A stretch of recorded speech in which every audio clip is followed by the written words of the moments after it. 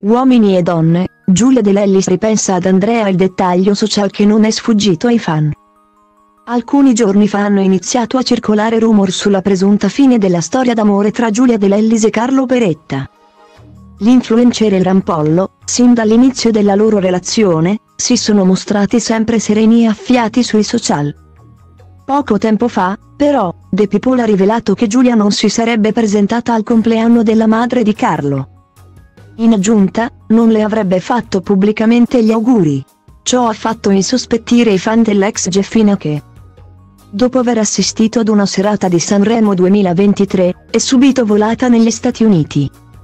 Poco dopo il suo arrivo in America, Giulia avrebbe fatto trapelare un ulteriore indizio a supporto della tesi su una presunta rottura con Beretta. Tutto è cominciato prima che la 26enne arrivasse allo State Farm Stadium per assistere al Super Bowl 2023. Un'occasione imperdibile per l'influencer, per la prima volta spettatrice della finale del campionato di football americano. La Delellis ha però condiviso un video piuttosto ambiguo. Nel filmato pubblicato.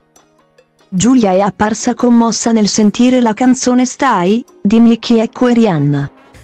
Quest'ultima, proprio al Super Bowl ha annunciato la sua seconda gravidanza. È stato questo il brano che ha mandato in tilt da Amelis, i fan della coppia formata da Giulia e Andrea Damante. Amatissimi protagonisti di Uomini e Donne nel lontano 2017. Durante il dating show di Canale 5 i due appassionarono i telespettatori. Molti di certo ricorderanno ancora l'ultima esterna della coppia, prima che il DJ scegliesse la giovane di Zagarolo. I momenti trascorsi dai due, avvolti in un tenero abbraccio, furono accompagnati proprio dal brano Stai.